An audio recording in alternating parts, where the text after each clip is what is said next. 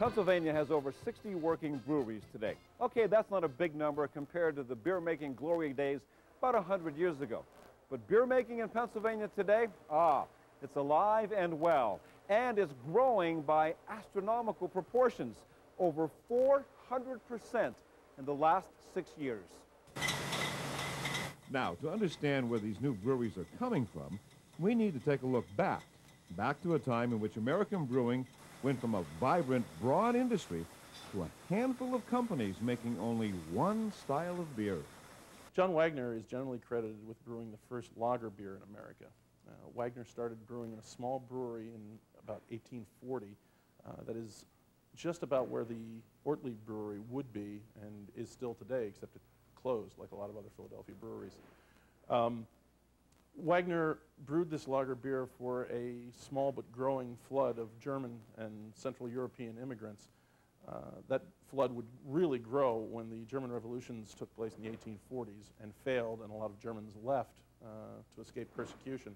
They came to America, they wanted their lager beer, and American brewers were happy to make it for them. The uh, lager brewing increased during the Civil War when these Germans went to war for their new country. Uh, the uh, Germans, German Americans joined the Union Army in droves, sometimes whole regiments of them, and the lager beer wagons followed them wherever their regiment would go. By the turn of the 20th century, there were over 2,000 breweries in America. Prohibition in 1920 would change that, putting over 75% of them permanently out of business. Prohibition prohibited people from drinking, but it didn't take away their thirst.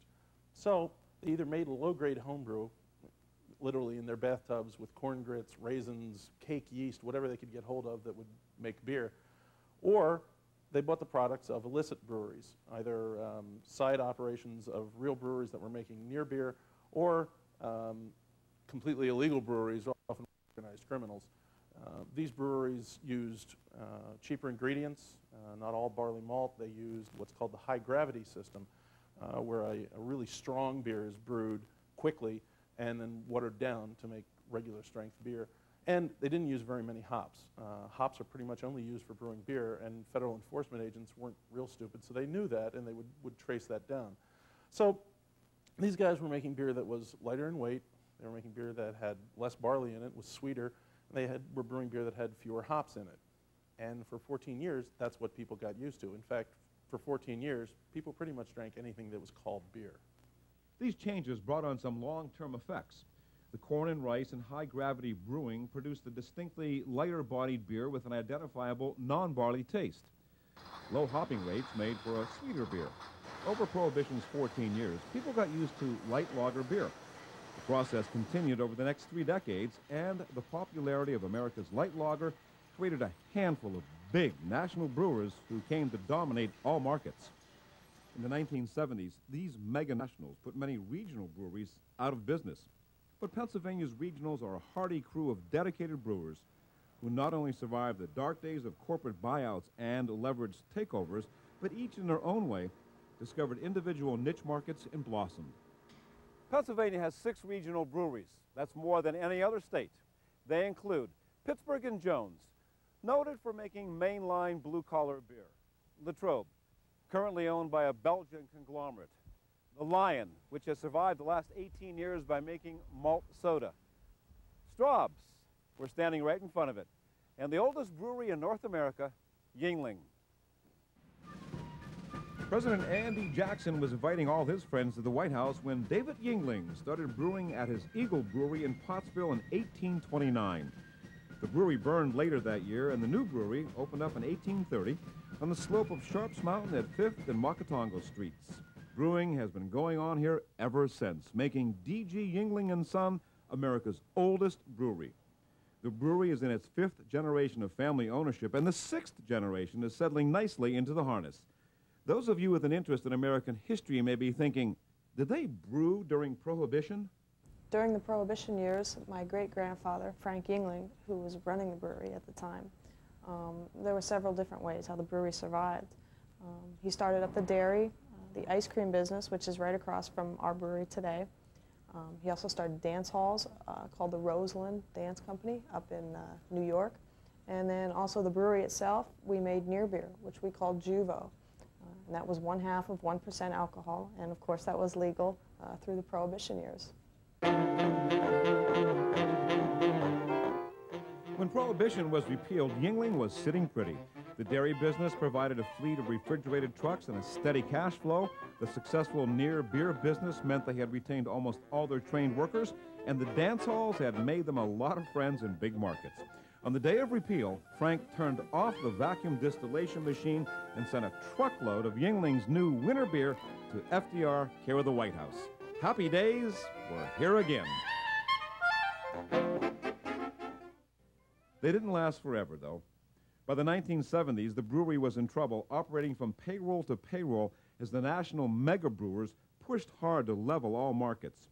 In the end, two things saved the brewery the dogged loyalty of Schuylkill County beer drinkers and the American Bicentennial in 1976. The Bicentennial raised interest in American history and made the brewery's status as America's oldest a bankable quality. In 1985, Dick Yuengling Jr. bought the brewery from his father. However, he felt continued pressure from the national breweries threatening to throttle his business. He also saw the rising interest in non-mainstream beer and thought there might be a way to tap that market. We had always had porter since the inception of the brewery. We had always had ale, and we had our premium beer. So now we added light beer and this amber lager to our portfolio, which gave us six brands of beer uh, to market through our system. Yeah, but we, for some reason, are perceived as a almost a craft brewer. So people say, well, gee, I didn't know Yuengling made light beer. But we do, and we make a good light beer. And as people try it, uh, they like it, and they continue to buy it, it seems. So uh, that segment of our, our portfolio is growing very well. First to appear was the Yuengling Black and Tan, a pre-mixed blend of porter and premium. People in Schuylkill and Berks counties had been mixing Yuengling Porter with Premium or Lord Chesterfield on their own for years to create a custom-made Black and Tan. When the Northeast Tap Room in Reading had the brewery make up pre-mixed barrels of half Porter, half Lord Chesterfield, and sold a lot of it, well, the brewers saw they had a winner. They switched the mix to Porter and Premium, put it in a snazzy 16-ounce can, and released it on the market. Got any black and tan? Became the question every beer distributor in eastern Pennsylvania hated to hear. But it was the lager, a little darker, a little more flavorful, a lot less national, that blew the doors off the brewery. Yuengling's lager taps cropped up everywhere in southeastern Pennsylvania. The brewery went to high gravity brewing for the first time. They put in their first expansion in decades. They went to seven days a week and two shifts, and they still couldn't keep up with the demand. We have domestic premium price products that will compete with either a domestic premium beer or an imported beer at domestic pricing. So we've, I think our future here is uh, we have a tremendous opportunity with this company to uh, continue to grow because we seem to have the brands and the products that people are buying and they like.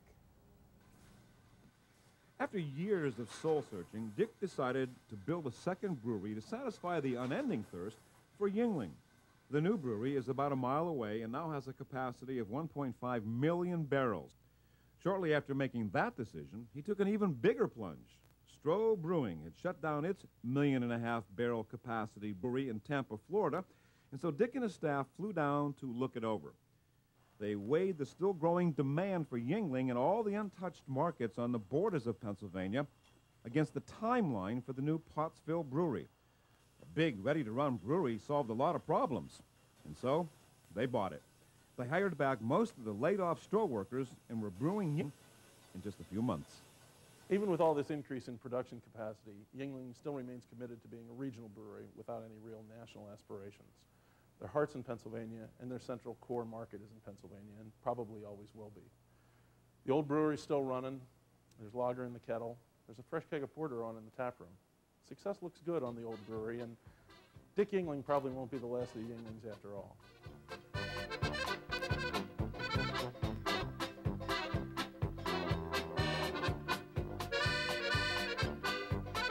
Okay, so it's a little noisy, but hey, we're in a brewery.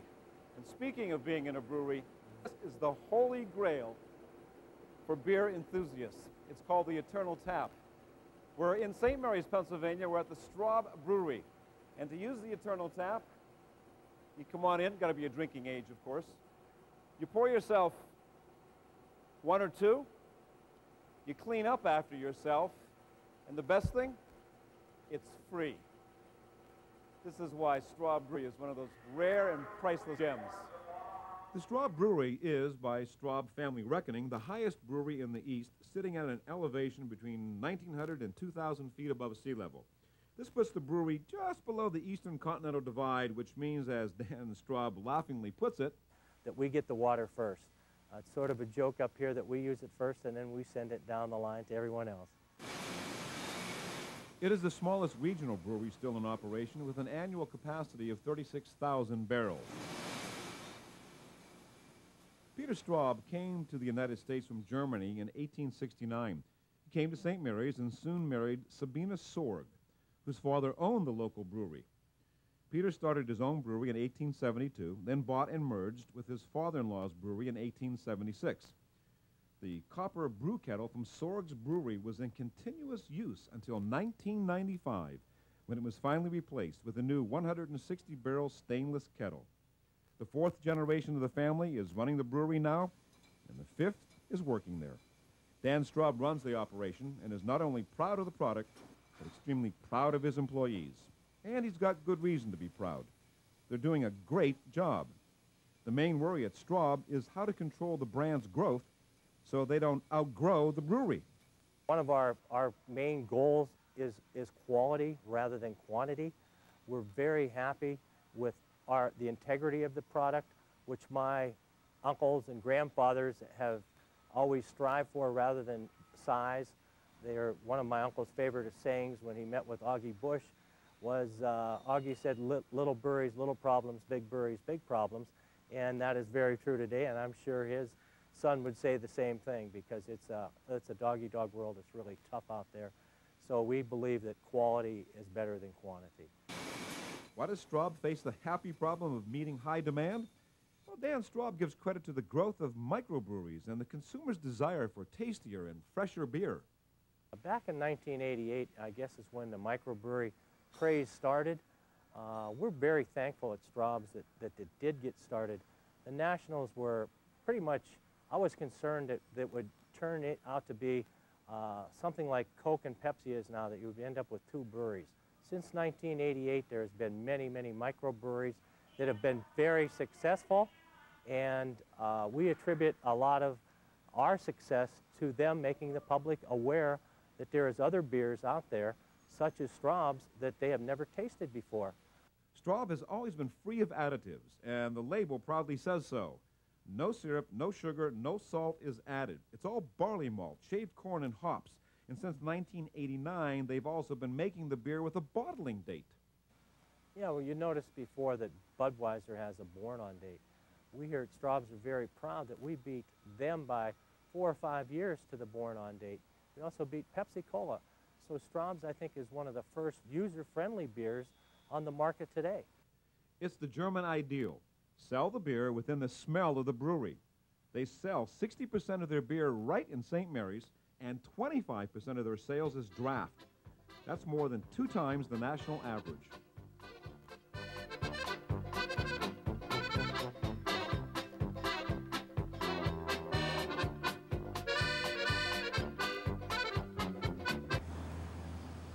Pittsburgh Brewing Company is so well known for its flagship brand, Iron City, that most people think that's the brewery's name. Pittsburgh Brewing Company is banking its future on Iron City. In fact, much of this town's brewing heritage is reflected in Pittsburgh Brewing Company's brands and corporate lineage. Yes, my grandfather and my great-grandfather were both employed here as coopers, uh, all from, I don't know when they started, but they were employed here until Prohibition came along and they were the ones that made and repaired the wooden barrels. Uh, they themselves were quite a task. Uh, it's becoming a lost art. The coopers, there's not too many that are handmade anymore. And the cooper, uh, people don't even know what the cooper is. If you go to Williamsburg, Virginia, you'll find, see a cooper there. Other than that, you don't find too many coopers around. But back in the early days of the breweries, uh, beer was put into wooden barrels, and this is what they did, and they were called coopers. The brewery stems from one started by Edward Frauenheim in 1861, which brewed Iron City beer. In 1899, that brewery joined forces with the 21 other local brewers to form the consolidated Pittsburgh Brewing Company.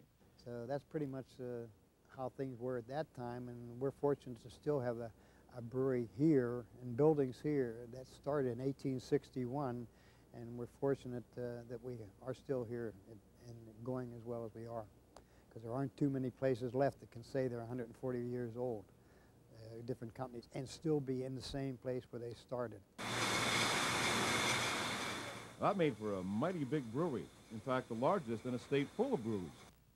Until recently, Pittsburgh Brewing remained the biggest independent brewery in Pennsylvania, its annual production hovering consistently around 1 million barrels. That amount, though, has dropped off recently due to a combination of past labor troubles, poor management, and an assault by Coors Light. Pittsburgh Brewing has issued commemorative cans featuring local sports teams, along with other collectibles, such as the infamous Old Frothing Schloss. Pittsburgh Brewing did this as a spoof of beer beauty queens like Miss Rheingold, and they touted the beer as the pale, stale ale with the foam on the bottom. Ah, people loved it, and the brewery gave into years of demand and released it again in 1999. The brewery had great success with IC Light. Today, though, sales have slipped as the original light beer drinkers, together with the big Iron City drinkers, well, they've just gotten older. Pittsburgh Brewing responded by introducing the fruit-flavored light beer, Icy Cooler we reintroduced the Icy Cooler, which was brought out about four years ago and had some spikes in sales. We saw the need to remarket this beer, reproduce the beer. We cleaned up the packaging, we made it an attractive package. It's in the same category as your coolers. It is a malt-based uh, product. It's light in, in effervescence. It goes right after that light beer market that seems to be very popular. With that, we've dovetailed what we're doing with IC Light in that we are resurging the market, we're keeping the dollar spent in getting back, and we have successfully seen the IC Light drinker coming back to fold. So the brewery has taken some drastic measures. They've hired hot young guns to create a completely new marketing concept for the Iron City brand and the brewery itself. The campaign is built around a retro look that emphasizes city over iron exactly as Pittsburgh itself is doing in these post-Big Steel years. This is city living, the new slogan proclaims. After spending time in the Burgh, drinking my share of iron, I've been around the country and drunk beers in other places, and I have to say, Iron City is no worse than a lot of beers, and it's better than some. I hope Pittsburghers get the new message. The brewery does well, and they start drinking their own hometown beer again. And then maybe that big brick building up on Liberty will pump iron after iron for years to come.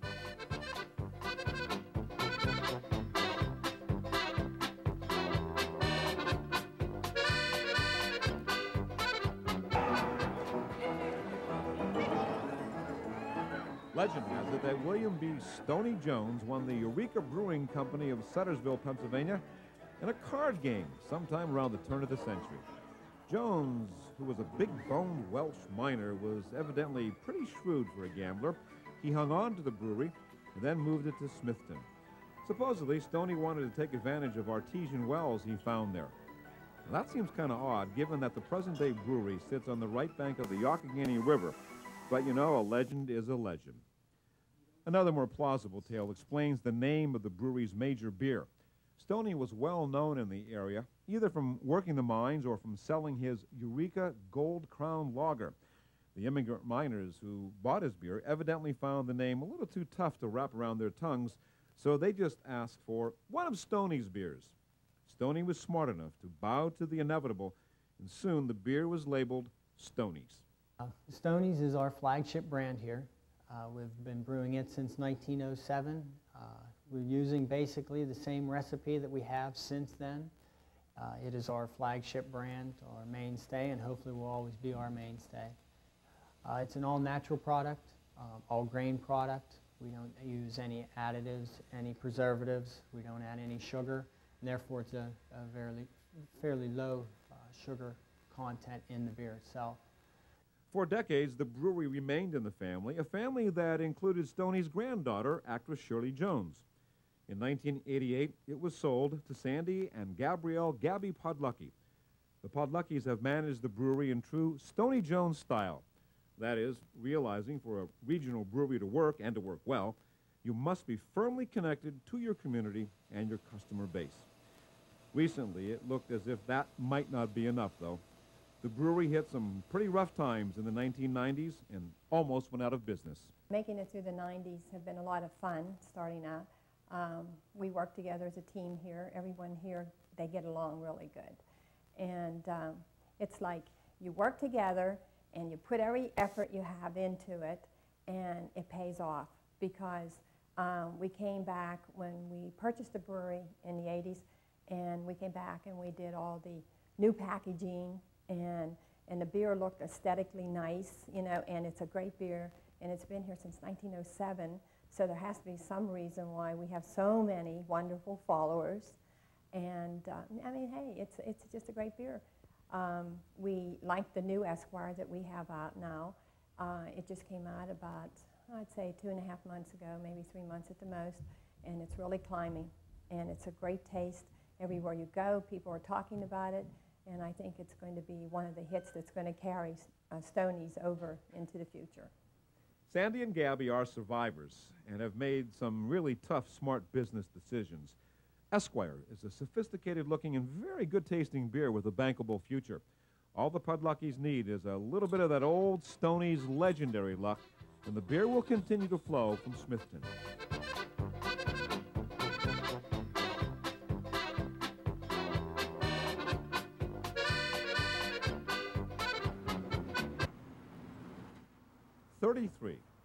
Think about that for just a minute as we travel north, north to Latrobe home of the Latrobe Brewing Company, perhaps Pennsylvania's most unique brewery because 95% of its output is just one beer, Rolling Rock.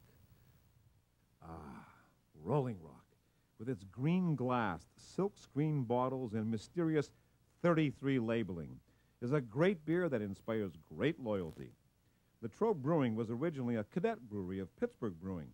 After Prohibition, Pittsburgh decided to drop some of its smaller breweries. Latrobe was sold to the Tito brothers, who ran it until the 1980s. One of the best moves they made was to create a new beer in 1931. It was Rolling Rock. And on those very first bottles, the motto read, as it does today, Rolling Rock, from the glass-lined tanks of old Latrobe, we tender this premium beer for your enjoyment as a tribute to your good taste. It comes from the mountain springs to you. And at the end of the motto is the number 33. Not sure what it means actually. There's a lot of theories. One is uh, it's 33 steps to my office.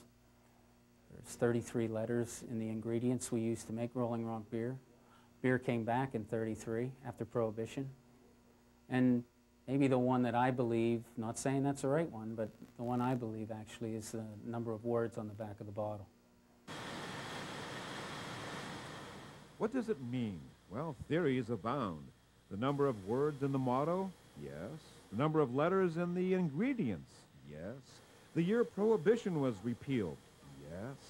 Unfortunately, the Tito brothers sold only the brewery and the brands to Labatt and not the corporate archives. So the real meaning of 33, ah, may be lost forever. What has not been lost forever is the brewery. Labatt has spent a lot of money on this brewery and has renovated it to a high-tech modern facility. There's a new brew house, new fermentation hall, new valving system, fancy testing systems, and some really serious automation going on here. Brewing is now a one-person operation, and fermentation is a no-person operation. It is remotely controlled. All the improvements make it look like Labatt jacked up the building and slid in a new brewery. Now we're owned by a Belgian group called Interbrew. Interbrew prides itself in being the uh, second, depending on who you talk to, we're the second or the third largest brewer in the world. But we're the, the uh, world's local brewer. In other words, every brewery that they own is actually locally run. In other words, what they do is they try to regionalize everything or localize everything versus making it a national or global. And they found some success with that. And that's part of our charm is people always associate with Rolling Rock beer with Latrobe, and uh, and that's what's given us probably uh, been able to sustain us through the through our history.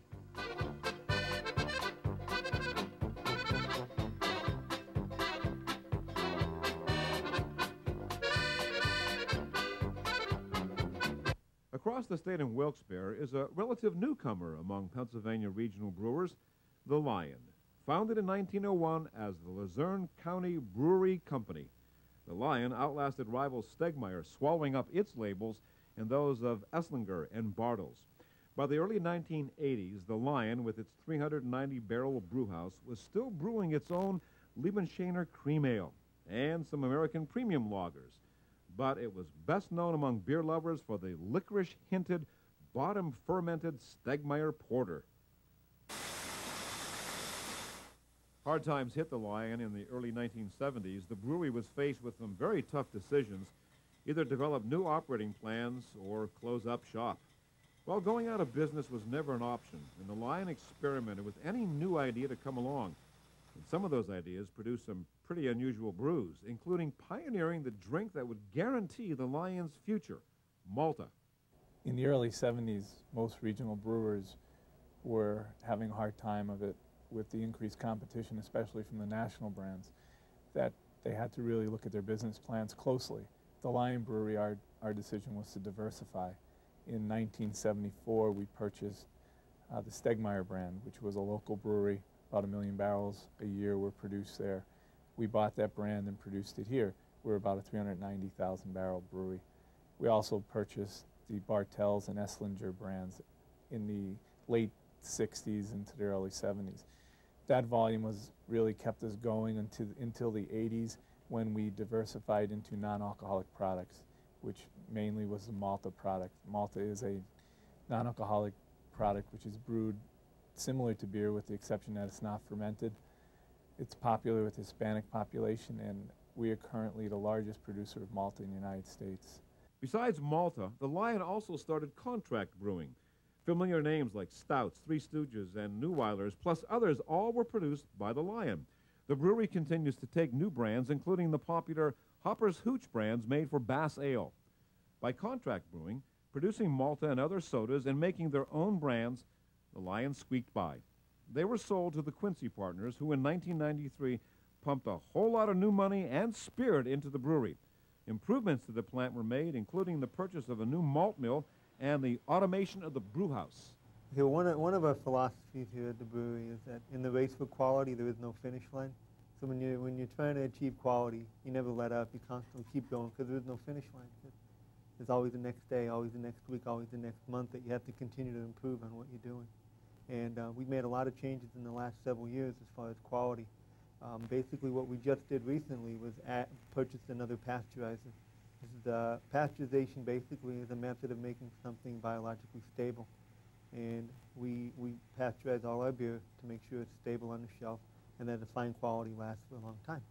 Now we test everything in-house. So we can test everything from step one to the final step. And you get a blueprint or a fingerprint of your operation. You know what you could expect, and you know where your weaknesses are, you know where your strengths are. So you can fix your weaknesses and build up on your strengths. So that helped us. All those things added up.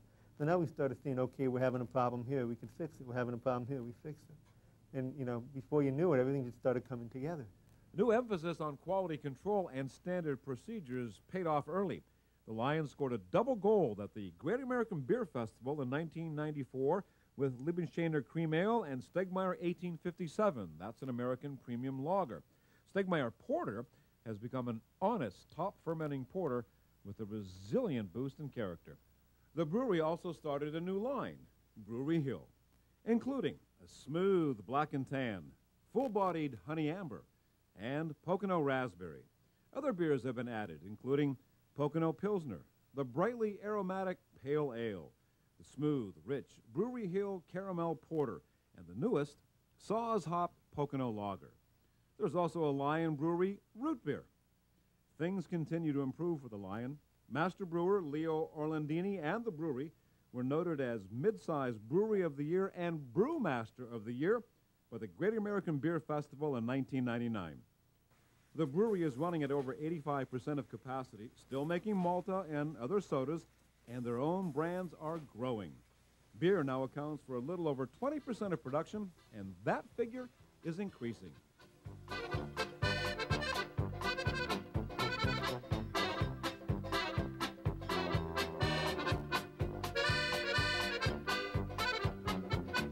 Microbreweries began in the United States? A guy by the name of Fritz Maytag bought the Anchor Brewery in San Francisco in the mid-1960s. Maytag was heir to the appliance fortune, so he could pretty much indulge his whim. Well, the whim turned into a love of beer making, and it's generally credited that Maytag brought the variety of beer making back to the United States. Maytag brewed and made Lighthouse Ale. What else would you make in San Francisco but Old Foghorn and Anchor Steam? Microbreweries were alive and well and booming in the United States. These were jumped up home brewers or maverick mega brewers or just business or military people coming back from Europe who had tried the variety of beers over there and wanted to drink something like it here at home. When they couldn't find any, they started making it themselves. These um, first breweries were often cobbled together out of any kind of equipment they could find, dairy tanks or soup kettles, like Frankenstein's monster. And as you might expect, the beer was anything but uniform. Some of it was excellent, some of it was awful, but it all found a receptive audience and people who were thirsty for that kind of variety. First microbrewery new microbrewery in America was New Albion in Sonoma, California, started up in the late 70s. Uh, the revolution swept westward from there, and Pennsylvania got its first microbrewers in 1986 when Penn Brewing and Dock Street both hired a brewer to start making beer for them. Pennsylvanians have discovered the many different ways beer can taste, and they like it.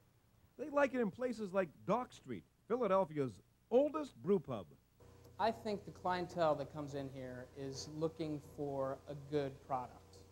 Uh, you can go just about anywhere in the city and get a Budweiser. You know, um, there are very few places in the city where you can go in and get a very fresh, handcrafted beer.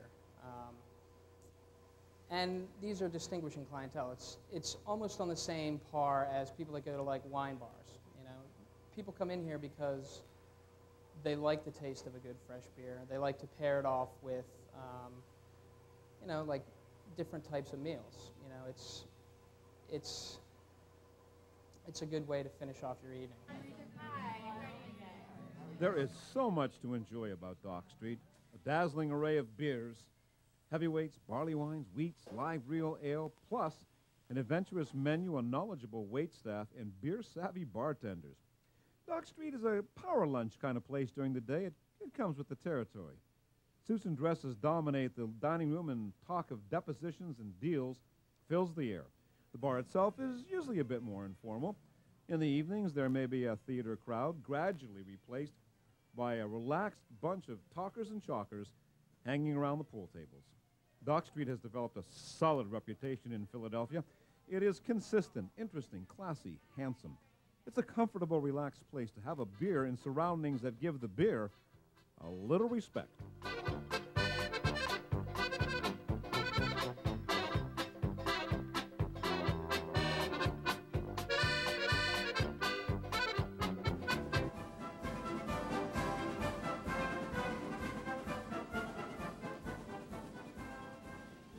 Philadelphia is the birthplace of American brewing.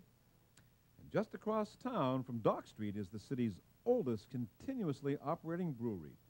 Yard's Brewery, located, strangely enough, here in the back of a Pennsylvania liquor control warehouse. We're Yards Brewing Company, and we're proud to be the uh, oldest continually operating microbrewery in the city of Philadelphia. Yards and ales, all brewed in strict accordance with traditional English and Belgian methods, utilizing the time-honored principles of cask and bottle conditioning to produce ales of the highest quality. Um, Yards uses traditional English brewing methods where we use a single-step infusion mash uh, to extract the sugars. We uh, use direct flame in our brewing kettle, and we use open fermentation, where we actually have a top cropping yeast that is a traditional English style that we repitch from batch to batch. What really separates us apart from other breweries is that all of our products are conditioned in the final container they're served in. We do bottle conditioning, we do keg conditioning, and cask conditioning. The respect for tradition, regardless of the effort required, characterizes Yards Brewing. When they decided to make a porter, they did it in the time-honored way by brewing a strong ale and a mild ale and then blending the two together to age. Their first non-British beer was a Saison, a Belgian farmhouse ale with strict yet odd fermentation requirements. Yeah, it's hard work, but it's paying off. The Saison became a very popular local summer beer and is selling well year-round. Yards now has a 25-barrel brew kettle and temperature-controlled tanks. You know, when Yards first opened in 1994, temperature control meant an air conditioner and a space heater. Well, they now have a bottling line and are packaging bottle-conditioned beers. The future of Yards is bright. Our goal is to bring the pre-prohibition brewing practices back to Philadelphia. We're currently expanding from a 6,000 square foot facility to a 35,000 square foot facility so we could share our product with the rest of our markets.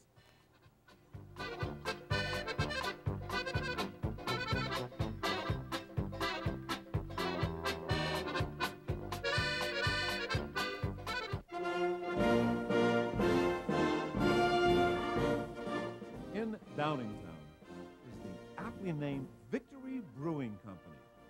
The two owners, Ron Barchet and Bill Covaleski, are childhood friends who homebrewed together for years. And then through a real odd set of circumstances, they wound up brewing at the same microbrewery. Well, you know the story. One thing leads to another, and they decided to open up their own. After years of plans, salesmanship, and lots of sweat, Victory was born. Victory does not compromise for the market because Ron and Bill believe that there is a market for uncompromising beer. Our philosophy in beer making is essentially a very selfish one uh, in that we brew only the beers that we want to drink and we brew them to the character and the flavor that we appreciate. Uh, it's worked very well for us because luckily others have gravitated towards our beers and we have consumers appreciating them and spending for them, which keeps us in business, of course. But uh, as I said, it is a very selfish approach. Now, if you look at that from a more remote perspective, it makes some sense in the fact that Ron and I have been consumers of beer for 21 years, and we have been brewing beer for 11 years, and we've been brewers owners for the last five years. So we really are, we really do embody the craft brew consumer, and uh, we are the craft brew consumer. Ron and Bill are uncommon beer geeks at that. That's because they brew lagers as well as ales. Of course, Pennsylvania has the largest concentration of lager microbrewers in the country. Victory's all malt lager and their big brother, St. Boisterous, are two examples of fairly uncommon styles that Victory does well and does well with. Another one is their Prima Pils. It's an unabashed Pilsner with a huge Saaz hop aroma that just blows away any lame ideas of being just another Pilsner. Finally, in late winter, they brew their St. Victorious Double Bock, big double bock with a surprising hint of beechwood smoked malt in it. Victory's flagship beer has turned out to be the powerful Hop Devil India Pale Ale. Man, that's a beer that builds a tower of hop power on a rock solid base of German malt. You'll find more German based ale magic in the duo of Sunrise Weiss and its Mr. Hyde like companion, Moonglow Weizenbock. Ooh, a very nice, very big wheat bock. Topping it off is Victory's weighty triumvirate of Old Horizontal Barley Wine, Storm King Imperial Stout, and the Belgian style Golden Monkey.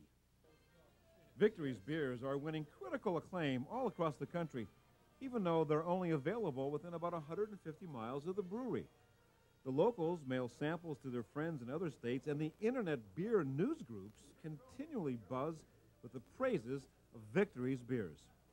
The pub and brewery were built in part from an old Pepperidge Farms complex, so the look is very much an industrial space. The industrial feel, though, easily overlooked because the service is friendly and the food is as fresh and carefully made as the beer. Take a seat at Victory's Long Bar, a bar that's built out of the packing crates that the brewery was shipped in. Get yourself a glass of cask-conditioned Hop Devil fresh off the hand pump. Take a look at all the tanks behind the bar where the beer was fermented and aged.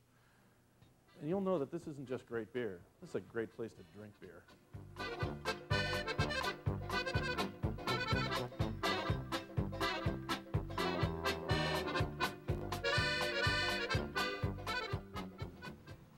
Welcome to the Bethlehem Brew Works, a classic example of a phenomenon called brewpub anchoring. What does that mean? Well, it means when a brewpub establishes the core for revitalization in a neighborhood. The idea is often met with initial skepticism. There's always some members of community that feel having a brewery in their neighborhood will lead to public drunkenness, wanton destruction of property, decline in social values and school test scores, human sacrifice, things like that. But a brewery is primarily a production business, has good wages, local responsibilities. Most communities try to encourage that. A brew pub offers all that and more. It has a vested interest in developing and maintaining a good neighborhood that will attract customers. And that is what has happened here in Bethlehem. The Fegleys took a chance coming to downtown Bethlehem, and it worked. Now people had a place to go. When the people came, other businesses decided to take a chance on downtown as well. The Brew Works, well, it's always going to be different. The menu's different with items like, check this out now, garlic ale hummus, roasted red pepper mini wraps, and salmon burgers, and an ever-changing selection of fabulous house-made soups. And the decor is different, too. It's all tied to the image of Bethlehem as the home of Bethlehem Steel. The trim is skid-proof diamond plate. The booths are topped with steel pipe dividers. And the walls are studded with an old hand-carved casting pattern. It's an industrial look, but the warmth of dark wood and the street-side windows ah, makes it a welcoming gathering place. Then there's the beer. Bethlehem has turned out to be a malt-loving town, and the Fegleys Extra Special Bitter and Bagpiper's Scotch Ale are very popular taps. Jeff knows what to do with hops, too. There's always something aromatic and bitter on draft at Bethlehem, sometimes his razor-sharp IPA. He's not afraid of unconventional beer styles either. I had a resoundingly sour and funky Belgian-style Kriek beer the last time I was up, and he has a very nice Belgian double as well. The brew pub is located in the heart of the historic downtown district, just up the street from this fountain that welcomes travelers and beer tourists with the message, drink, pilgrim, drink.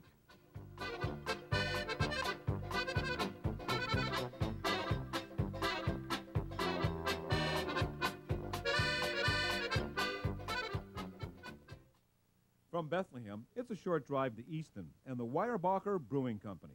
Owned by Dan Weirback, the brewery's name dates to the mid-17th century, reflecting Dan's German ancestry and the original spelling of his family name. You know, Dan's always been an entrepreneur, and when the brewing bug bit him, he realized the professional opportunity of mixing his business skills and his passions. Yeah, when we started, uh, we launched our first beers in uh, autumn of 1995, and we had a real tough time um, getting established in the marketplace, uh, which for us is a region of about uh, two or three states. Uh, we didn't seem to have established an identity very well. We picked a few common styles that were common to other microbreweries and launched with those. Um, and after struggling a bit like this and looking for uh, something to get a toehold on the market, we hit upon a few unusual styles. And uh, as we launched a few of these, we really didn't expect much. We thought maybe, oh, we'll get a, a little season, another seasonal beer. After a few years of trying a number of beer styles and concepts, the brewery seems to have found its niche with an extra special bitter and India Pale Ale established as year-round beers. Dan soon started brewing only beers that were unmistakably non-mainstream. One after another, he formulated, brewed, and market-tested beers using the quick decision cycle of a microbrewery to his advantage one of our earlier styles, uh, perhaps the second one that we tried, uh, right after hops infusion, was Blithering Idiot Barley Wine. Um, we experimented again. It was going to be a few kegs just for sale in the brew pub, uh, almost a novelty, sort of a fun thing for us to play around with. And um, before we knew it, uh, chatter, and I don't even know how it started, it circulated out in the marketplace a bit, and we had stores asking us about it, and we said, well, it's just going to be kegs for the brew pub. and uh, a couple of beer writers had also asked about it, and um, uh, before you know it, there was a lot of people suggesting we bottle it. So time was available at that point to brew some more before the fall season got here. It's typically a cold weather beer. And uh, we produced, uh, we tripled the size of what we had produced and uh, put it out in the marketplace. And before, before it was filtered and bottled out of the tanks, it was already sold uh, completely, and that was about 250 cases, which, uh, which surprised the heck out of us because here is a beer that retails for 35 or 40 dollars a case, and we just had no idea there would be that kind of a demand for that beer. Critical acclaim and strong sales greeted the beers, and Dan's testing process has been made much easier by adding a cozy pub to the brewery. The pub started out as something pretty simple. You know, a bar, a couple of tables where people could get some beers and order up a pizza, a bowl of chili, but mainly a place where Dan and his brewers could share some air with customers and find out what they really thought about the beer. Dan and his wife Sue were pleasantly surprised. The pub became such a popular spot in Easton that they expanded the kitchen. Adaptability is essential for smaller craft breweries to survive. Dan Weirback has learned that lesson very well. You can bet he'll be out selling beer on the road or behind his bar and listening to what his customers tell him.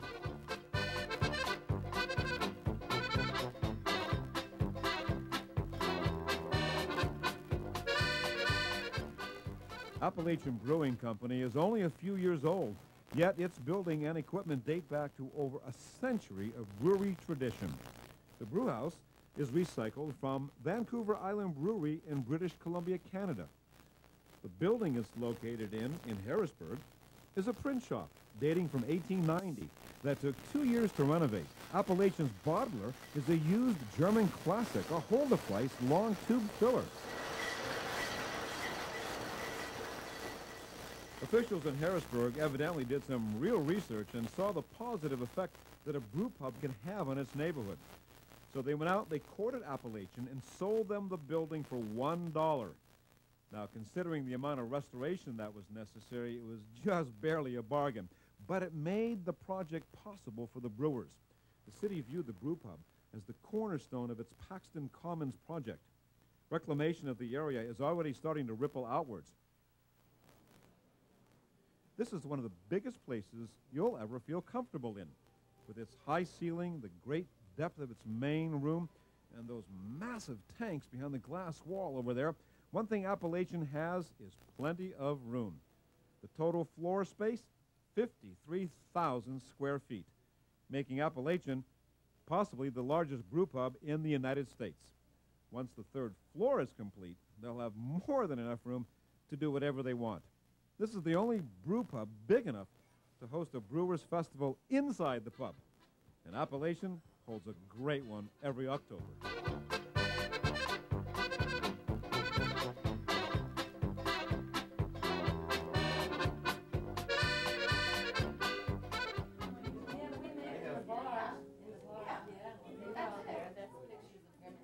Okay, I dare you. Try sitting at the bar at Selinsgrove without hearing other people's conversations.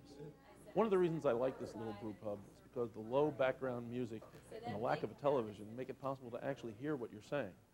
Stephen Leeson and Heather McNabb say they want people to practice the art of communication, something that's all too often impossible to do in a pub. Steve and Heather are like that. They spent some time in Colorado, and it's almost impossible to spend some time there without picking up a little bit of hippie. But don't think it's all starry eyes and woo wow man with Heather and Steve.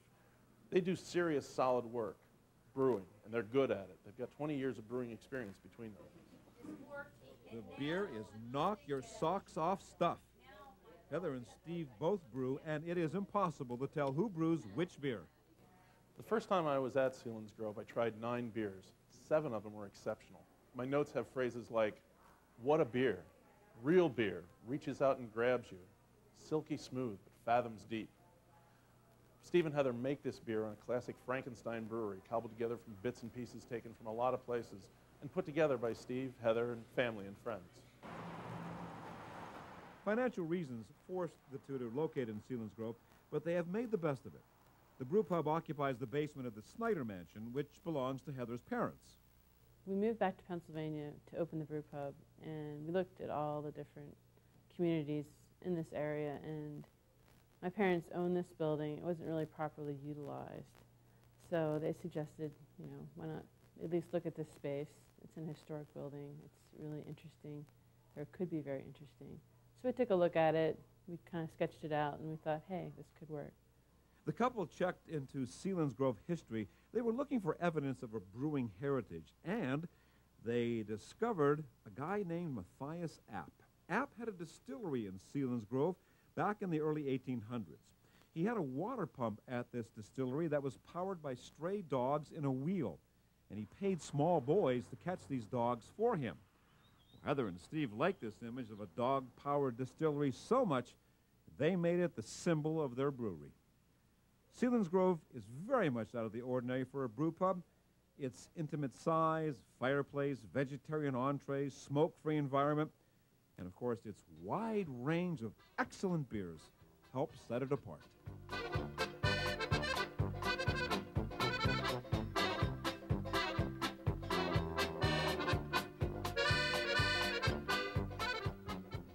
Across the state here in Pittsburgh is the Pennsylvania Brewing Company, owned by Tom Pastorius.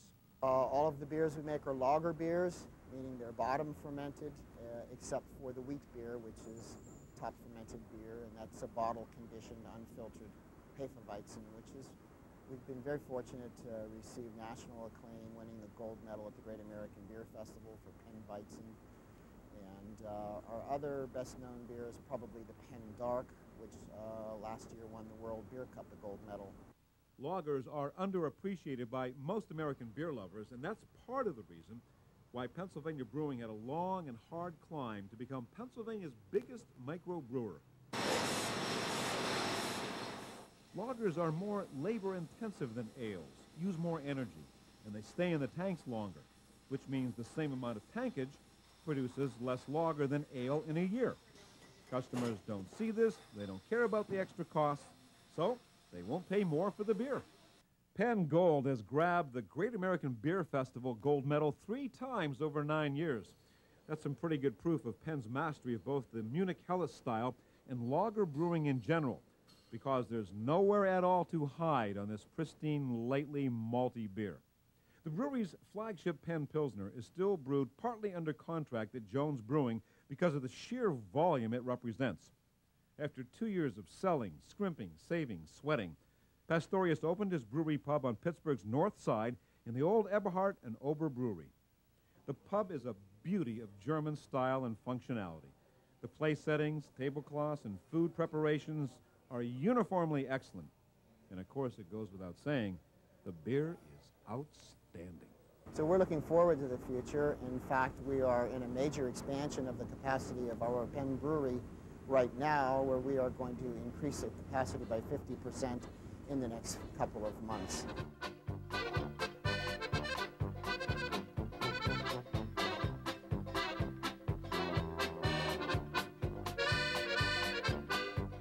Beautiful sunsets, sandy beaches, and great beer. Erie Brewing is all by itself in the northwest corner of the state and has its work cut out for itself. How does a brewery survive without other brewers around to prime the pump for people's tastes? Well, very well, I'm happy to report. From its birth in the former Hopper's Brew Pub across town in 1994 through its new incarnation as a packaging microbrewery, Erie Brewing Company has been buoyed by great community support. Erie loves Railbender Ale. This big malty beer falls somewhere between an English old ale and a wee heavy. And it's got more than a lot of malt and more than a touch more alcohol than most beers have.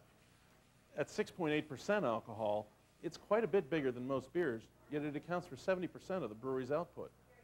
They're a different breed up in Erie, and my hat's off to them. You know, I think they, uh, certainly our product line uh, is something that we put a lot of thought into and has helped us, uh, if you will, maintain that community support that's so valuable to us. And we haven't tried to confine ourselves in, the, in a very specific high-end niche uh, craft product. Uh, our products are very good and certainly and clearly are craft products in terms of the way they're made. We, we have two uh, ales, our Railbender Ale, which is a traditional Scottish ale, and our Mad Anthony's Ale, which is designed really as an English pub ale. And very importantly to our thought process, I guess, as we have evolved, was to enter into what is not traditionally seen in the craft brewing business, and that's to begin the lagering business and the launch of our Presque Isle Pilsner. Uh, that has allowed us to reach what we believe to be a market that's saturated with the mentality of uh, drinking and, and believing that beer is really the traditional American style beers, which are very good and serve their purpose. But uh, you know, we wanted to reach uh, that marketplace and still have the craft uh, edge to it in terms of uh, uh, the, the, freshness and crispness of the beer. So our Isle Pilsner is certainly backfilled for us there. Erie Brewing does well in the community in which it does business because the community supports it and wants to see it grow into a vibrant and regional brewery. We think it fitting to bring an end to our tour of Pennsylvania breweries right here in Erie because no other city in the Commonwealth has this poignant or a stark reminder of what happens when the community stops buying locally. This is what happens. Behind me, the former Koehler Brewery, home to Koehler Beer, Uncle Jackson, and the famous Koehler Collar. This once proud building, which employed hundreds and hundreds of people, is now nothing more than urban blight, a painful eyesore that keeps reminding us how well national products are marketed. So the next time you're ordering up a glass of suds, say to your bartender, hey, make mine local, make mine Pennsylvania.